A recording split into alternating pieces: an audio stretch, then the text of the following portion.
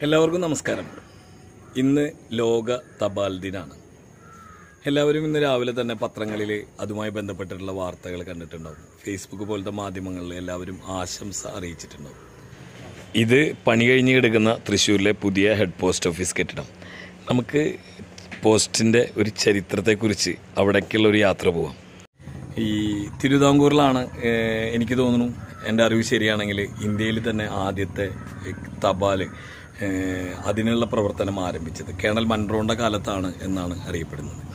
അതുകൊണ്ട് തന്നെ ഏറ്റവും നല്ല തപാലാപ്പീസുകളും അഞ്ചൽ പെട്ടികളും ഒക്കെ ഉള്ളത് തിരുവിതാംകൂറിലാണ്. കഥ പറഞ്ഞ് നീളം കൂട്ടണില്ല ഞാനിപ്പോൾ നിൽക്കുന്നത് ഒരു അഞ്ചൽ പെട്ടി തിരുവിതാംകൂറിന്റെ ഒരു അഞ്ചൽ പെട്ടി. അഞ്ചൽ പെട്ടി അല്ലെങ്കിൽ അഞ്ചലോട്ടക്കാരൻ ഒരു കുന്തവും അതിന് കൂടെ ഒരു മണിയും ഒരു പോസ്റ്റ്മാൻ അത് ഓടുന്ന ഒരു പോസ്റ്റ്മാൻ ആയിരുന്ന അഞ്ചലോട്ടക്കാരൻ. അത് ഉണ്ടായിരുന്ന ഒരു കാലത്താണ് നമ്മളുടെ വാർത്താവിനിമയത്തിന്റെ ആദ്യ ആരംഭ ദിശ എന്ന് പറയുന്നത്. അതെ ആ അഞ്ചലോട്ടക്കാരന്റെ ശേഷിപ്പുകളിൽ നിന്നാണ് പിന്നീട് പോസ്റ്റ് ബോക്സുകൾ എത്തുന്നത്. അഞ്ചൽ പെട്ടികൾ. അഞ്ചലോസ് എന്ന് പറഞ്ഞ ഗ്രീക്ക് വാക്കിൽ നിന്നാണ് ഉപയോഗിച്ചു തുടങ്ങിയത് എന്നാണ് പറയപ്പെടുന്നത്. എന്തായാലും കേണൽ മൺറോനെ സ്മരിച്ചുകൊണ്ട് തിരുവിതാംകൂറിനെ സ്മരിച്ചുകൊണ്ട് നമുക്ക് ഒരു പോസ്റ്റ് ഓഫീസുമായി ബന്ധപ്പെട്ട് ലോക പോസ്റ്റൽ ദിനത്തിന്റെ ചില കാഴ്ചകൾ നമുക്ക് ശേഷിച്ച് നിൽക്കുന്ന കുറച്ച് ഇത് ഇപ്പം നമ്മൾ നിൽക്കുന്നത് മാള പുത്തഞ്ചിറ കരിങ്ങാച്ചിറ എന്ന് പറഞ്ഞ പ്രദേശത്താണ്. ഈ പുത്തഞ്ചിറ പുതിയതായിട്ട് പടന്ത ചിറ എന്നുള്ള അർത്ഥത്തിലായിരിക്കാം പുത്തഞ്ചിറ എന്നുള്ള പേര് വന്നിട്ടുണ്ടാവുക. പുത്തഞ്ചിറ ഇവിടെ വന്നാലേ വളരെ കൗതുകകരമായ ഒരു കാര്യമുണ്ട്. പലർക്കും നമ്മുടെ നാട്ടിൽ അറിയൂ എന്നറിയില്ല. ഈ മാള ഉൾപ്പെടുന്ന പ്രദേശം ഏതാണ്ട് വരാപ്പുഴ വരെ.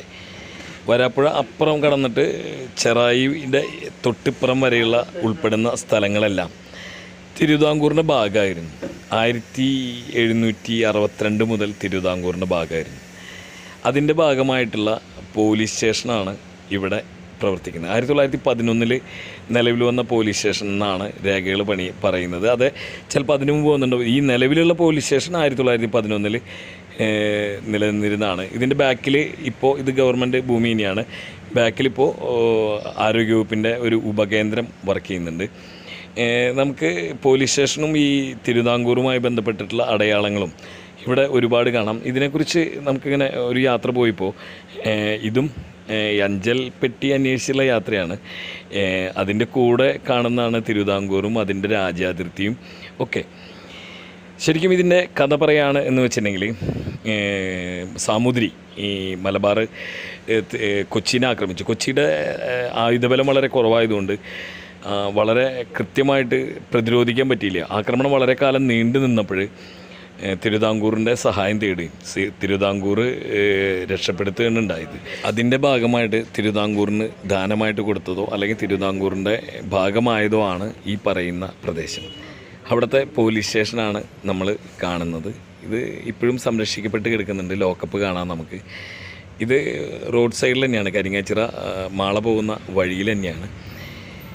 ശരിക്കും ഈ തിരുവിതാംകൂറിന്റെ ഒരു ഭരണപാഠവും തിരിച്ചറിയണമെങ്കിൽ നമ്മൾ ഇന്ന് കാണുന്ന പബ്ലിക് ഹെൽത്ത് സിസ്റ്റം നമ്മുടെ നാട്ടിൽ പ്രവർത്തിക്കുന്ന പബ്ലിക് ഹെൽത്ത് സിസ്റ്റത്തെക്കുറിച്ച് മനസ്സിലാക്കിയാൽ അറിയാം. കാരണം ആരോഗ്യ മേഖലയിൽ ആദ്യത്തെ സംഭാവന തന്നെ ഇന്ത്യയിൽ നൽകിയത് തിരുവിതാംകൂറാണ് എന്നാണ് പറയപ്പെടുന്നത്.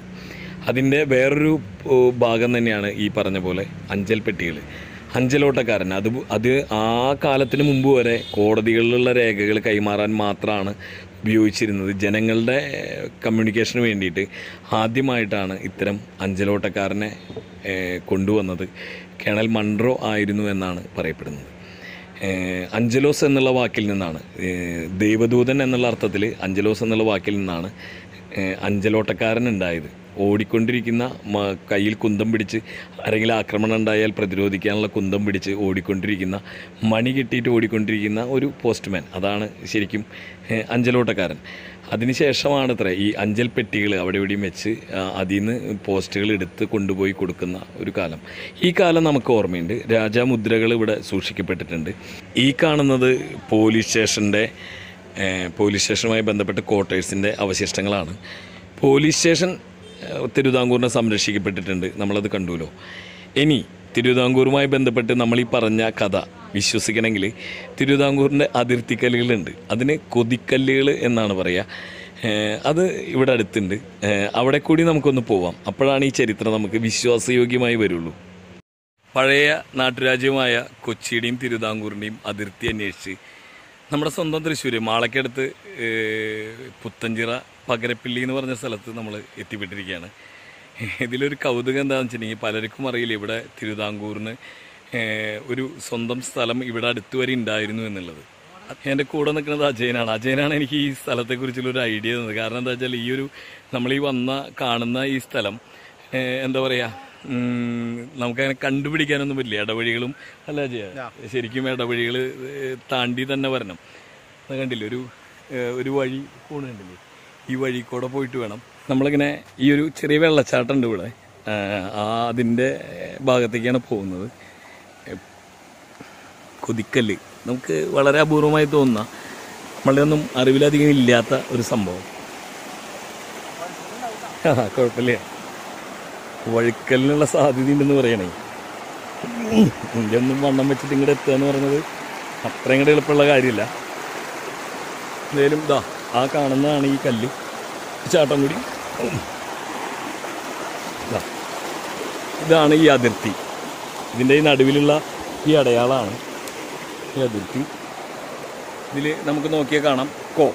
ഇത് കൊച്ചി ഇപ്പുറത്തെ ഭാഗം കോ.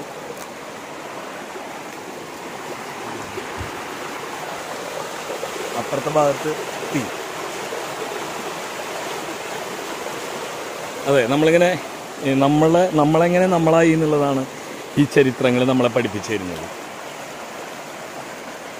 ഇങ്ങനെ ക്ലീനായിട്ട് ഉറപ്പിച്ച് നിർത്തിയിട്ടുള്ള ഒരു സ്ഥലമാണ്. പക്ഷേ ഈ സ്ഥലം ഗംഭീരമാണ് മനോഹരമാണ് അതിന്റെ ഇടയിൽ ഇത് കാണാതെ പോകരുതല്ലോ ഈ ഒഴുകുന്ന ഈ തോടുമായി ബന്ധപ്പെട്ട് തോടിന്റെ പല ഭാഗങ്ങളിലും ഇതിലെ ഇതുപോലെയുള്ള കല്ലുകളുണ്ട്. പല സ്ഥലത്തും അത് നിലനിൽക്കുന്നുണ്ട്. ചിലയിടത്ത് അത് ഇല്ലാതായിരിക്കണം. എന്തായാലും വേറിട്ടൊരു ചരിത്ര കാഴ്ചയാണ് നമ്മുടെ തൊട്ടടുത്തുള്ളത്. ടിപ്പുവിന്റെ ആക്രമണവുമായി ബന്ധപ്പെട്ടും അതുപോലെ പറവൂർ തമ്പുരാക്കന്മാരുമായി ബന്ധപ്പെട്ടുള്ള കുറേ കാര്യങ്ങൾ ഇവിടെ പറയാനുണ്ട്. ഇവിടെ ഇപ്പോൾ തൽക്കാലം ഈ കൊതിക്കല്ലിൽ എന്റെ ഈ യാത്ര അവസാനിപ്പിക്കുന്നു. എല്ലാവർക്കും നന്ദി. നമസ്കാരം.